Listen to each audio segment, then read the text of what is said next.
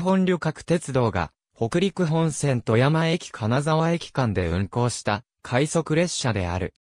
2006年11月2日に金沢駅前に開業した商業施設金沢フォーラスへの買い物客の利用を見込み、翌2007年3月18日のダイヤ改正で土曜日、休日の午前中に富山発金沢行の快速列車が上りのみ2本新設された。この列車は時刻表情は相性なしであったものの、ショッピングトレインと銘打たれ、専用のヘッドマークも掲示された。その後、列車名は、同年5月26日に、金沢駅構内に、金沢百番街、くつろぎ館がオープンしたのに合わせ、ホリデーライナー金沢に変更し、ヘッドマークも、新規のものが掲示された。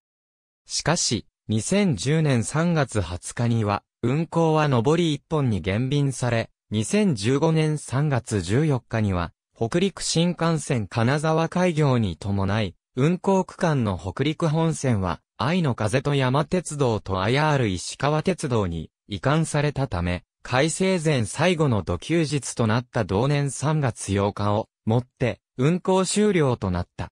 廃止直前の2014年10月18日時点では、土曜日、休日に富山駅金沢駅間で1本が設定されていた。停車駅は、富山駅、小杉駅、高岡駅、福岡駅、イスルギ駅、津幡駅、金沢駅であった。移管に際しては、本列車の直接の代替となる列車は、設定されなかった。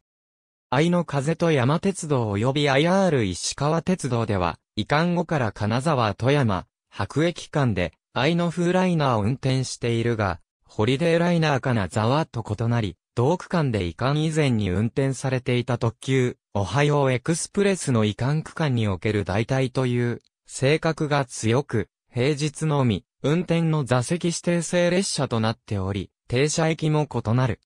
また、IR 石川鉄道では2017年3月4日から、と休日の午前中に、IR ホリデー号の名称の普通列車を、津幡駅金沢駅間で運転していたが、2019年3月16日ダイヤ改正により、廃止が決定。最後の土休日となる同10日に運行終了となった。ダイヤ改正以降は、IR お出かけ、号の名称で、臨時列車として多客機に運転される。ありがとうございます。